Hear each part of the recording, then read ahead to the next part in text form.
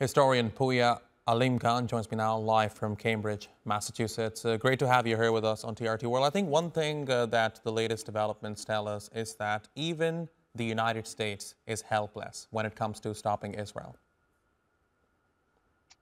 Uh, you know, it, it often criticizes Israel, but it never really does anything substantive to stop it. Uh, in fact, this has been the the problem for the past six months is the United States administration has been incredibly or increasingly critical of the uh, Israeli war in Gaza and the West Bank, but it really hasn't changed its policy.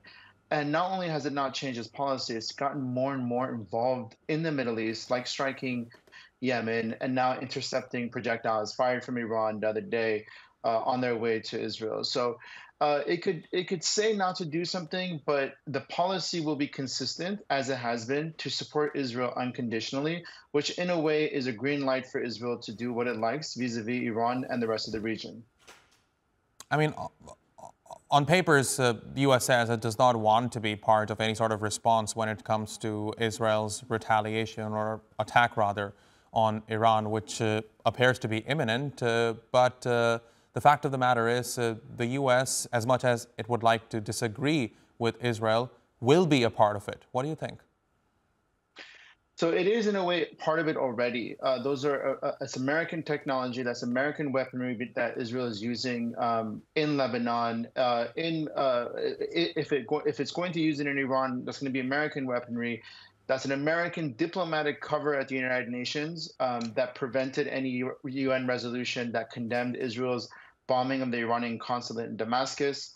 Uh, and then that was an American involvement with France and Great Britain and Jordan that uh, intercepted uh, Iranian projectiles. So I don't think America will be any more involved, but it is already involved. Uh, this is this is there's always this there's always this fear that it's going to spiral into a regional war. It already is a regional war that is engulfing the West Bank, the Gaza Strip, the two Palestinian territories, Lebanon, Yemen, and now Iran. And this is really all rooted in the fact that um, the United States has been solidly, solidly behind Israel from the beginning, no matter all the excesses in Israel's military conduct in, in the Gaza Strip. Right. And uh, talking about Netanyahu, there are clear disagreements in the Israeli war cabinet and uh, the wider political spectrum uh, of the country. Where does uh, this uh, play into Netanyahu's position in uh, leading Israel amid ongoing amid, amid this ongoing war? Well, I think that it, continued conflict with Iran or an escalation would distract from the Israeli imposed famine and the massive staggering death toll in the Gaza Strip. So, in a way, I think um, there are people in the cabinet that want continued escalation with Iran, really as a as a distraction from what Israel is very intentionally doing in the Gaza Strip. Um, but but I want to be clear: the, Israel has been striking Iran for years, whether it has been assassinating Iranian scientists within Iran or bombing Iranian forces in, in Syria, and now the Iranian consulate in Damascus.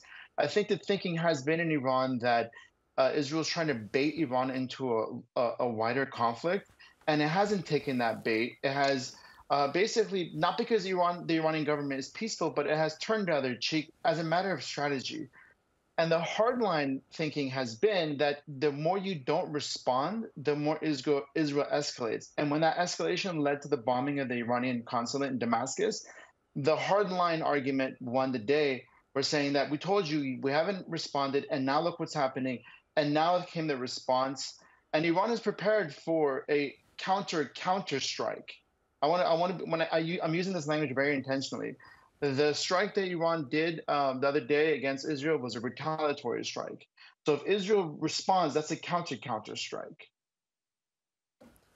Okay, now, uh, Pouya, I think uh, the primary reason why there is a lot of concern among the international community when it comes to tensions between Israel and Iran is that uh, both these countries may have undeclared nuclear weapons. So let me ask you, in case of an all-out war between the two countries, how likely is it uh, for it to turn into a nuclear conflict?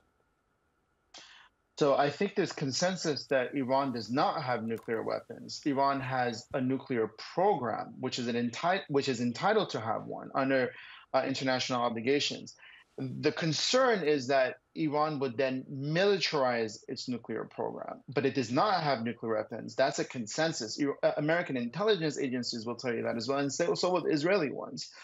Uh, the concern isn't that it will lead to nuclear warfare. Um, the concern is that this war is a regional war that's spiraling and spiraling and spiraling. And I think that most European powers are involved. West uh, Germany is supplying Israel with weapons. France and England and the United States inter- intervened in, in, the um, in the um, Iranian retaliatory strike.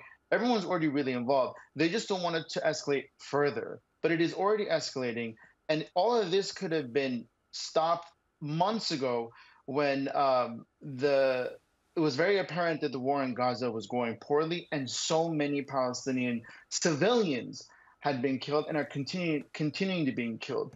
This is a regional war. Everyone's already involved. And if they want to stop it, they have to stop the war in Gaza first. That is the root cause of everything that's happening in the Middle East as we speak. Fascinating insights into the topic. Pouya Alimagham, thank, thanks very much for talking to us here on TRT World. Really appreciate your taking out the time.